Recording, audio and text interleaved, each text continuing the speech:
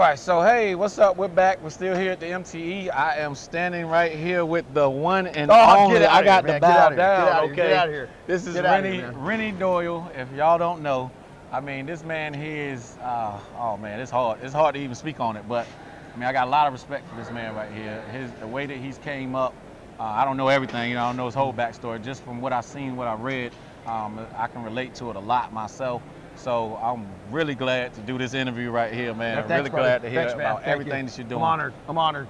And Okay. flattered. So I I won't give you know too much of your background or anything like that. I'll let you take the Gotcha. floor and kind of just talk about.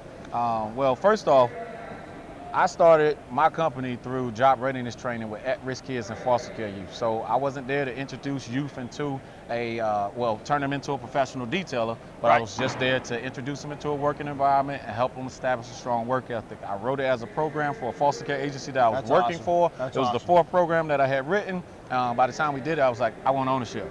And that's what happened and took off. Now it's been 10 years. Wow. Okay. So uh, from that, I took a liking to detailing, you know, really had a knack for it and kind of just sort of in my area just rose through the ranks. Um, so to stand here with Renny Doyle, who has basically taken the walk that I'm trying to take Right. and coming from the background that I'm coming from, I mean, this is like, this, I got, I got, I got to drop a knee. No, like, no, no. Well, come on, man. That way, that way we're the same size. You know, we're the same height, man. We're the same height that way. Yeah, so I mean, uh, Renny Doyle has uh, Detail Mafia. I don't know all the details on it. I did do a little bit of research so I could be abreast of it, but um, from what I've seen, I just I really liked it, and it kind of made me want to enhance what I'm doing. That's To make uh, sort of like a alumni Yeah. chapter of what I'm doing, to where it's for life. That's it. It's not just you come through this program and now you leave, because I think the Detail Mafia background, like you're you're in it for life. You are. Okay. You know, or if you so choose. Okay, so you know, if but you leave, you, we got to kill you. You Yeah. know, I mean, simple as that. That's know? the mafia. Gotta That's the mafia. So did I mention I'm not joining? The- Yeah, that's it. That's it. No.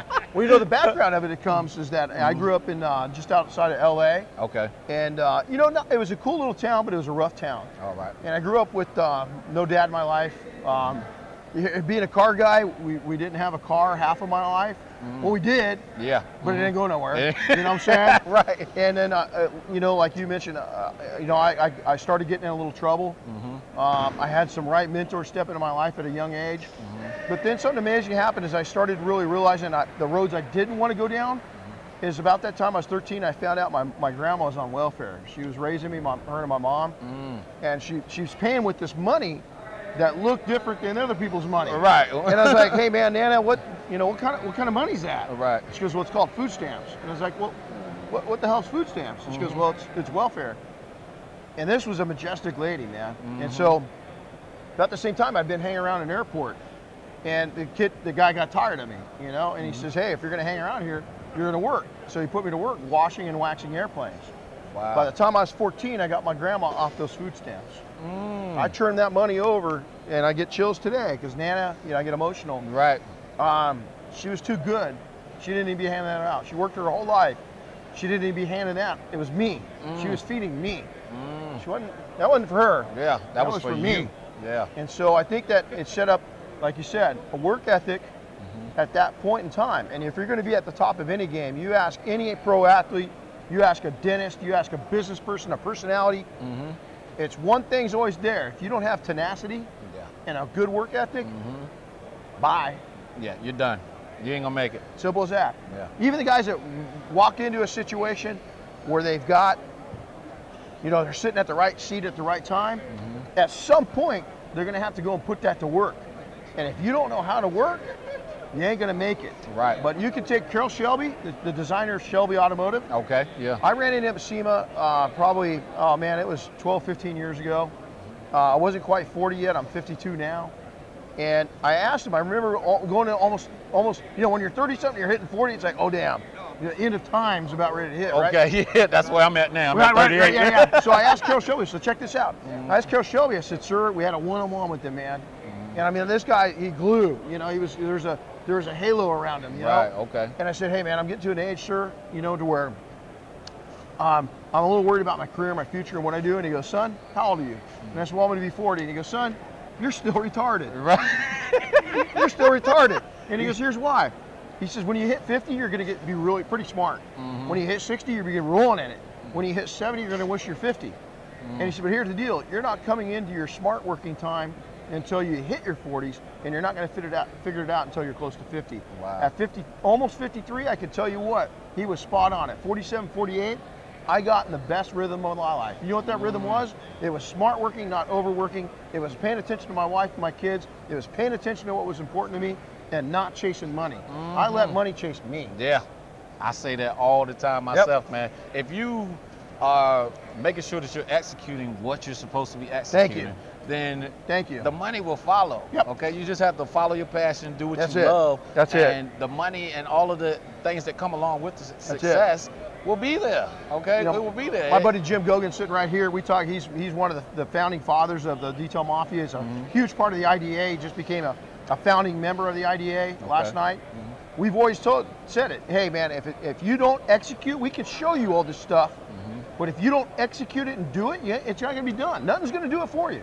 That's right. Nothing. You can see my, right. my, my, my voice comes up. I get a little excited about this. Yeah, I, a- that's what I like to talk listen. about, the real stuff, man. Right. People Yeah. don't listen, and you got you got to execute. So you're right on spot. Okay, so the Detail Mafia, how did it come Uh. into your brand? Like, how did you implement that? Like, how did the idea come Right. in? Like, I mean, that's it's, it's deep. It's Well, deep. You know, it's, okay, so I'm, I'm, I'm Doyle, uh, my mom's maiden name is Vacco. My, my grandpa was actually a made guy in the Dippolito family. right. Okay. Uh, came over from Italy, 100% Italian. Mhm. Uh, was a capo. I mean, so, and I grew up knew, knowing that. He wasn't a bad, like, you know, hitman kind of guy. Mm-hmm. Right, yeah. He was running, you know, he was making money. Okay, You know, he was yeah. making money.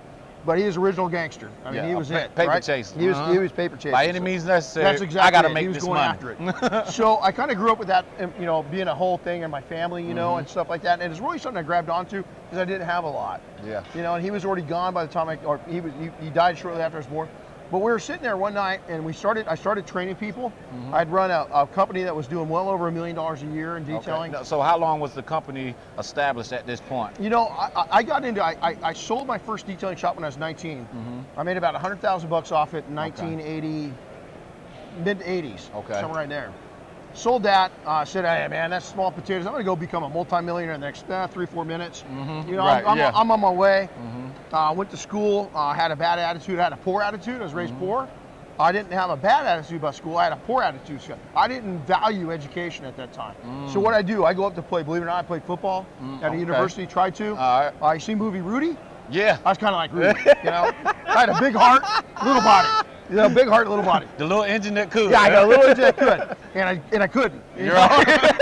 and so I um I, I quit. I quit school. I quit getting educated. And so I went out. I started a couple more businesses. I did really good with those businesses. Kept making money. Kept rolling it up. Kept rolling it up. Kept rolling it up. I was smart. I took and I I absolutely took and just concentrated on being happy because I spent some of my youth not being happy. Not being right? happy, right? And then um, somebody came back into my life, poisoned me. Mm-hmm. I allowed that to happen. Taught me that all the bad habits about you know chasing money, chasing long hours, chasing, you know whatever you could chase, I was yeah. chasing. Yeah. And it took just a few years, but it took over a decade to stop those bad habits. Mm-hmm. At that time, I'm starting to have kids. I got married to a wonderful, you know, my, my, my lifetime partner, my, Mhm. my bedrock, Diane. Yeah. We have four wonderful kids. Okay. But I was off kilter, man. Is Mm-hmm. I was a good father, Mhm. but I could have been better. Could have been better. Does that make right. sense? Mhm. Oh yeah. and so the mafia at that time, I'm, I'm running this company. It's uh, I started it in the in the, in the mid '90s. Mm-hmm. Uh, about 2004, Matt Williams out of Marysville, Ohio. He's still in business. Okay. Calls me up and he says, "Hey man, I've watched you grow your business. You know the internet's starting to pop now. Mhm. We got a couple of like you know ancient forums. You know, all right, we had to pull our flip phones and go A, B, B, C." C. Okay, number two, you know, and so Yeah. you pull it out, right? Yeah. And so it take you 15 minutes to say, hey, how you doing? Yeah, You know, on right, text. uh-huh. Where now you can just, you know, bam, it's Yeah. done. All the numbers and letters are there. That's it. So Matt Williams says, hey, man, I want to come up and train with and mentor with you. I was like, uh, oh, I, I really don't do that. And he said, no, man, you got to. I just got out of college. I want to learn what you're doing. Mhm. You're on fire. I said, okay. So Matt Williams, I trained him, and then I just he told a couple detailers on the forums, Mm-hmm. and it just kept on growing and growing and growing and growing, and um, it grew into two, four, six. That was no 04. So by 06, we said, hold on, man, we're on to something. Mm-hmm. So um, I sold a couple of my detailing shops, and I invested the money into to, to learning how to train. I've trained as a search and rescue technician in the military, uh, civilian world as a way to give back. So I, I knew how to train people. I had that background, but I didn't know how to train them in, in detailing. Furthermore, I, I decided everybody that was coming to training wanted to learn how to use these. What they really needed to learn how to use these Right. and connect these with this. Yeah. Mm-hmm. Does that make sense? Yep. So, uh, tw- 26, uh, 2006, um, I gave up running my detailing shops. I handed that over to our managers and my wife, and we started building up what's called Detailing Success Now. Jim Gogan and a couple other guys were sitting at this show one night. Uh, Deborah, uh, which is uh, uh, Detail Magazine, Okay. was interviewing me, and she goes, "Hey, man," she goes, "You guys don't talk a lot." It was back when detailers didn't talk. You- Yeah. You know, Uh-huh. oh man, I got secret. Yeah, My ain't got- secret sauce, man. You ain't, you ain't learning my, you ain't my secret sauce. Uh-huh. And she goes, you don't, you guys don't talk much. And I said, no, man, we keep quiet. We're all about business, and making money. And she goes, you're kind of like the mafia, like the detail mafia. And I went, yes, we are. I, I like that. Huh? yeah, It's got and a I- ring to I'm that. into coffee. Uh, we had uh, Dutch Brothers up in the Pacific Northwest. They got the Dutch Mafia. Mhm. And so I came home and I went, you know, I like this detail mafia thing. My grandpa pays honor to my grandparents, Mm. which some think is weird, Yeah. but it's my history. Yeah. Uh-huh. I, I, can relate. Right. know, Yeah. And then there's the you know the the, the Dutch the Dutch mafia, the detail mafia. Deborah kind of mentioned something, and it just took off. So we had the 12, what we call the Dirty Dozen. The- Mm-hmm. The, the, the, guys, Matt Williams, Jim Gogan, Harry, I mean Bobby, all these guys, Doug and Doug. We sit down at this show, Mm-hmm. back all the way back in you know starting in 04, 05, 06. Jim, when I met him in 05 here, Mm-hmm. 06, and slowly but surely the detail mafia started growing into a network of professionals, and we started educating each other. So then we started putting on webinars, and it went from being 12 or 15 of us to well over 150 of us now. wow. Uh, and so we're strong. We, Wow. we support each other. We have awards. We have a board of directors. Uh, we, we, we have main events uh, in, at SEMA. Uh, we have, get this, this year we'll have a, over 100 webinars, educational webinars. We bring on specialists. We got guys in our group that are, are, are worth millions, Mm. worth millions of dollars. Wow. And it comes down to one thing education. Education. Education is the key, which is the, the that's the thing I drive behind my my company. I say we don't sell our customers, we educate them. That's exactly it. It man. sells That's itself. exactly it. You're So you on. have to educate yourself first. Speaking of that, um, I I dedicated this year to going around and training with all of the greats. Okay, so Right. I'm coming to see you. Oh, we'd love to have you. I'm coming to to see you. I'm you. trying to get to you for the end of this year. Um, as far as your training itself, speak on that. You know, how does one get involved in uh, Renny Doyle's training? The first thing you do is, you know, what I, what I, do your research. Go on, you know, go search out Detail Mafia members. Talk to them. Don't take my word for it. All right. My wife and I, you know, my wife's a wonderful lady. She's got a, a law enforcement background, a instruction background. Uh, Mm-hmm. She's been a trainer. Uh, I've, I've been a trainer. I want to, uh, uh, one of the lead trainers in uh, the military reserve in California for the Guard. Okay. Uh, training search and rescue. It's my forte. The thing that separates us from other training is that A, we ran a multi-million dollar company.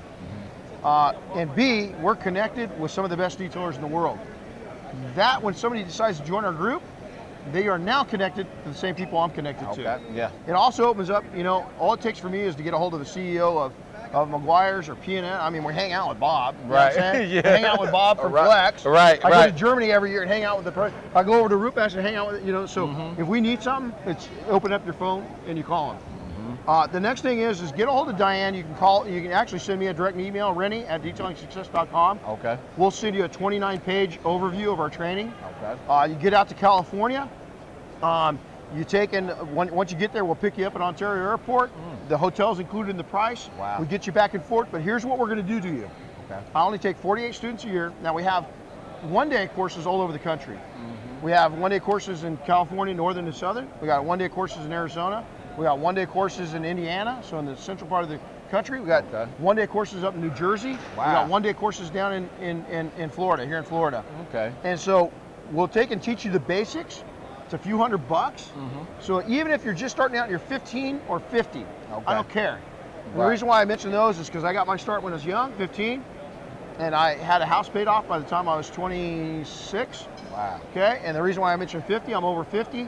They got a lot of people. Listen, America, uh, uh, corporate America is throwing you to the wayside. Mm-hmm. Once you hit 45, 50, you are useless to corporations anymore. Right. You are not useless to yourself. You, matter of fact, go back to what Carroll Shelby told me. You're just getting smart at 50. I Right. got cats that I've trained at 62, 63 that are killing it. Wow. They're in their second, they're, they're in their second careers, and they're killing it. Wow. So you know, get a hold of me, Renny at detailingsuccess.com. Mm-hmm. We'll start there. We're not for everybody. I only train 48 people a year in our our five-day course. Uh, we do eight at a time in our one-day courses. We've got uh, one-day marketing courses coming up, one-day sanding courses coming up. Okay. And so we're gonna we're gonna take and but here's the deal. We're gonna push you hard. This isn't a luxury tour. Yeah. Uh, this is you're gonna you're gonna feel it. You're gonna need to probably take Monday off after training, and you're gonna need a couple days to catch up. That's what I'm And- talking about. And, and we, we push you. We don't go light. Uh, we're very dedicated to you. Mm-hmm. But the most important part is the the days, months, and years after that.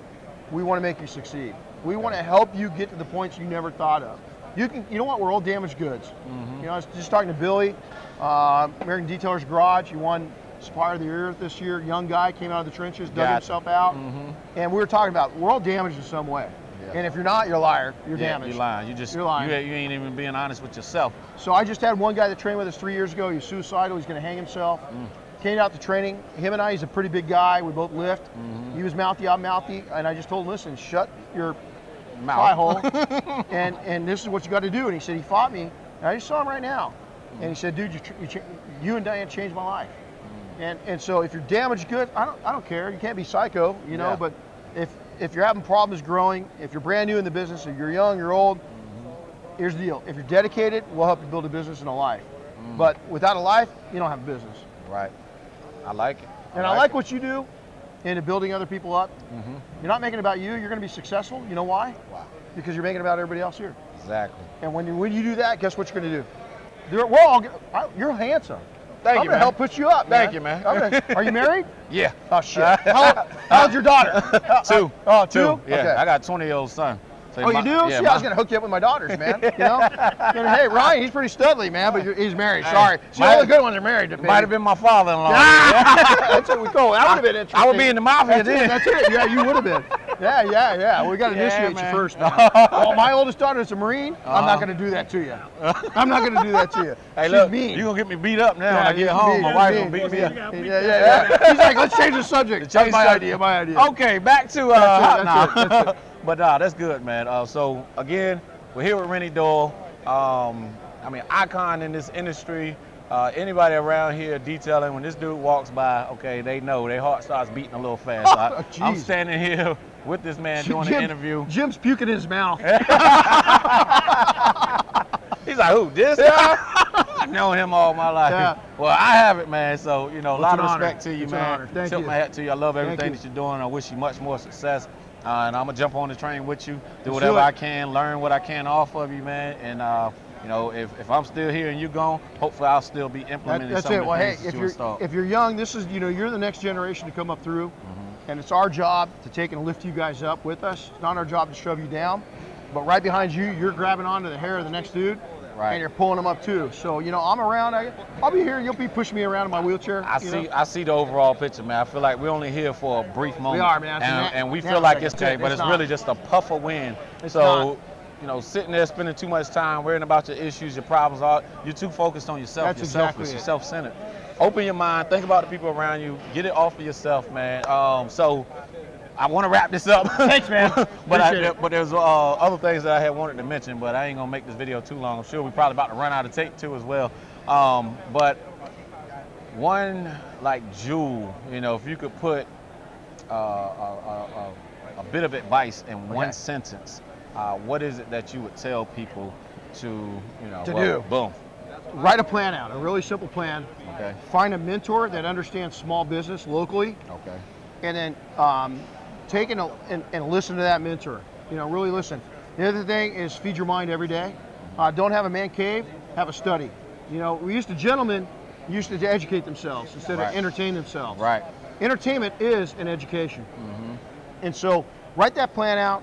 Even as, if you don't know how to write a business plan, go online. A lot of samples of it. Have your mentors help you out with that. Stay connected. YouTube's a great source Okay. online for education, but you, you never know who you're getting that information from. Gotcha. So that local that local mentor is going to be huge, and there's a lot of people that want to help build you up. Just find the right ones. Man, I love it. We didn't talk about a lot of detailing tips and all this other stuff. I mean, we got to the infrastructure, making sure that your mind is right. Basically, go. that's what we touched on. I like it. I love it. Appreciate All right, your brother. time, Good Renny. meeting you, man. Hey, Thank you. much Thank you very much. again. Yep. right. Take care, guys. Listen to this guy. He's got it. He's got it going on.